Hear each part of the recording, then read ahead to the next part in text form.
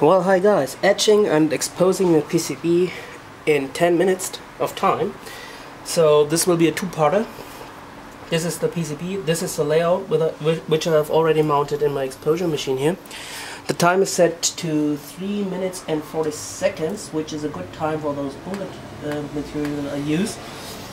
This is a little Ethernet adapter and the two-parter will be about um, etching, developing later on populating the board once I have the parts. So I removed the protective coat from the PCB.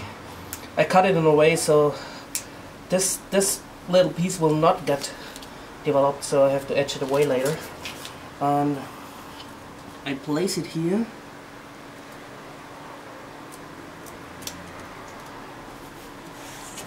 Close it. 3 minutes and 40 seconds starting now. Well, you do this in experiment. I mean, you, you, you experiment with it around a little so you can get out the time. So, and then you can have it constant. This will be the developing bath, which isn't quite ready yet. I used a natrium hydroxide. I use just just about as much as I think I'll need. This is also a little thing of experience. Uh, this Bungard material likes it very sharp, so developing should also be a thing of, of approximately uh, one minute, maybe even less. Shouldn't, but it shouldn't go beyond two minutes. If it takes longer than two minutes to get get all the um, well coating away, it is it is well something went wrong. Oh yeah, this one looks quite sharp. If I see it, it gets too sharp, then I can always thin it out a little with water.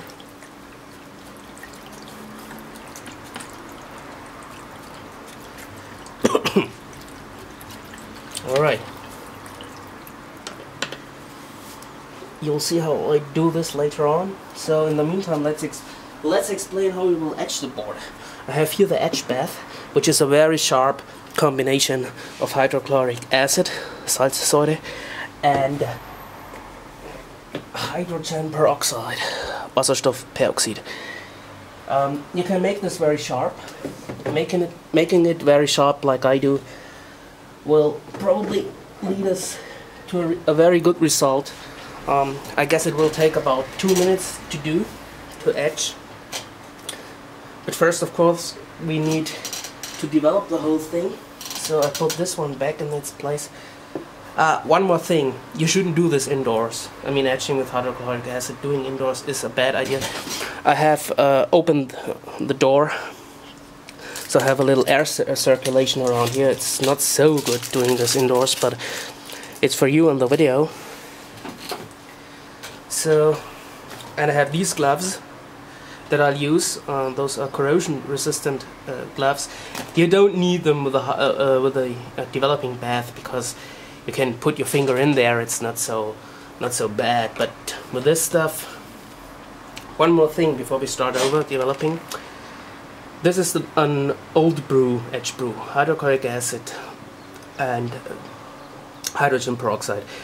You always use a little one of the old brew to make a new one and then add the two components because it will use as a catalyst will be used as a catalyst it will go well it will start faster and it will go faster.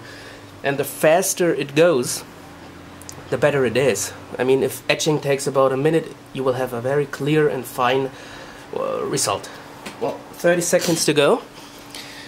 So, well and our video has progressed four minutes. So let's see what we can do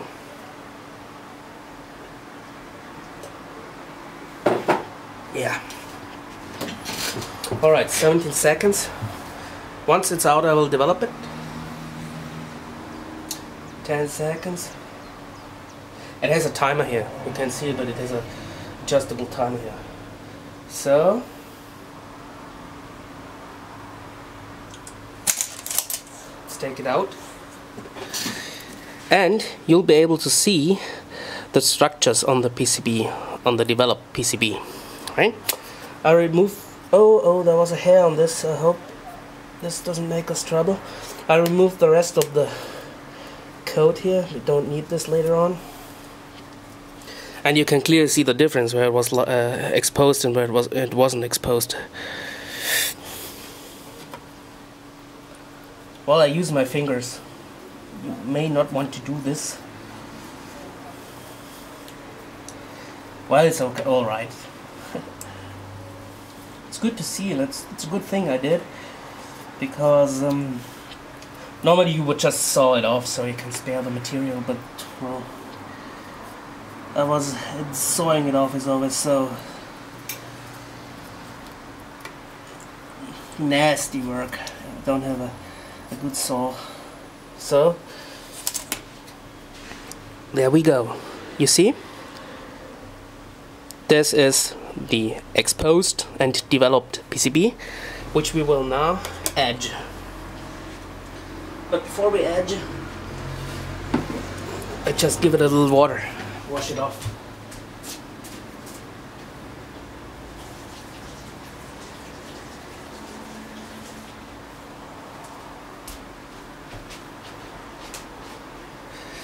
So this is a very sharp thing here don't put your nose in and don't and be aware that you don't touch it with your fingers. I, I really can only stress that. Oh yeah it looks very sharp and it is very sharp indeed. Oh yeah. You see how the unex um, the exposed parts of the PCB suddenly turn very very dark? Um, almost too much of the hydrogen peroxide in there and it gases out. But I tell you one thing, this is one hell of a bastard here that we are using. I will close it now because it really gases out and closing it makes it a little more bearable also for the user and you're not so much in, in danger of spilling any of that stuff because you don't want to spill this. So how long would it take? Has it already started? Well, started, I mean the copper being gone on some parts of the PCB.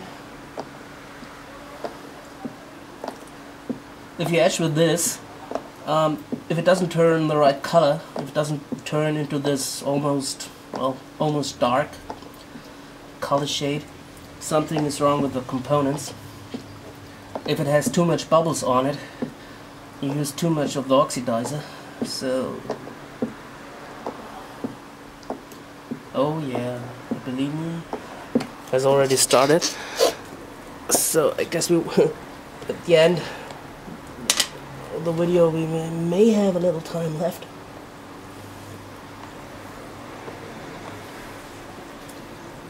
Oh yeah.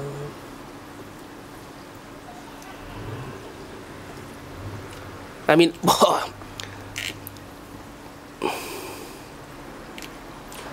be glad you can smell this. It's not well, not very nice.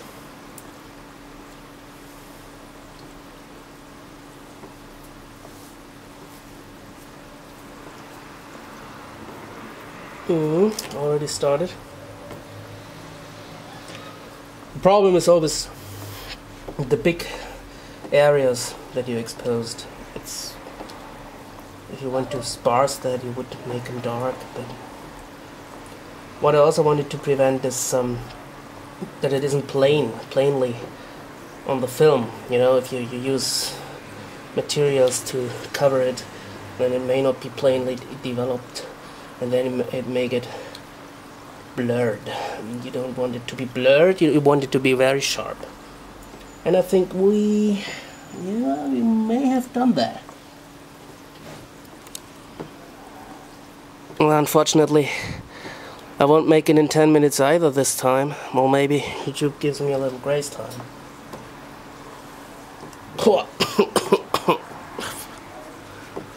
if you look closely in this HD video, you'll probably even see it gassing out. That's very nasty.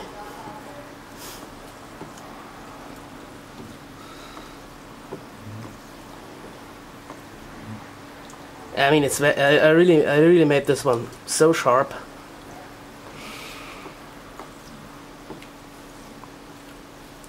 Okay, I guess I can make it a few more seconds.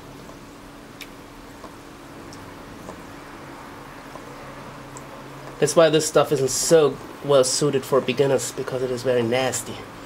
Always wear those gloves. And better you wear protective glasses. Okay, let's show it to you.